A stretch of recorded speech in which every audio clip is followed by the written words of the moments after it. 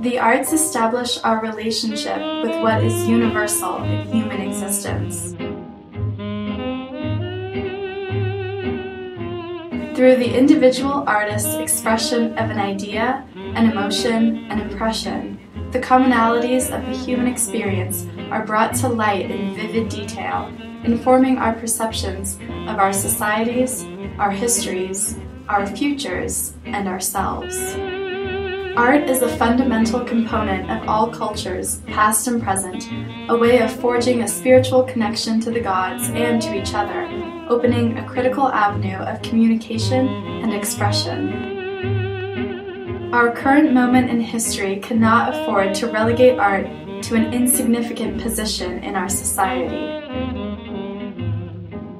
And yet, in our education system, art is delegated to the mm. role of supporting player to a host of other disciplines, and when granted its own distinct curriculum, it is seen as an extraneous and even superfluous aspect of a child's education. Why is it that this critical aspect of all historic and contemporary societies is not rightfully treated as a core discipline in our education system? Research studies continually prove the power of art education in developing creative problem solvers and critical thinkers who then become active and engaged citizens.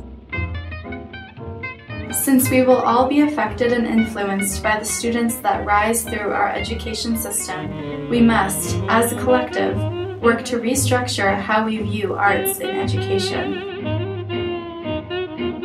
Will we continue subjugating art as a means to other ends, an expendable subject whose potential is limited to mere unstructured free time or simple self-expression?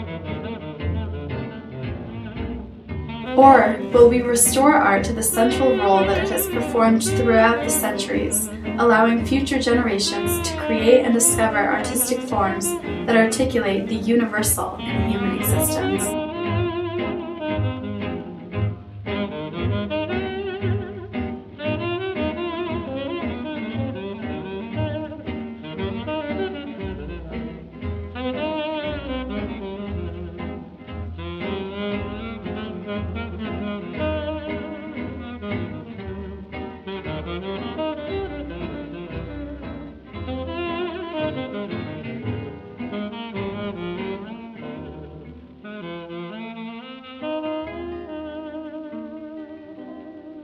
Sometimes I wonder why I spend the lonely night dreaming of a song.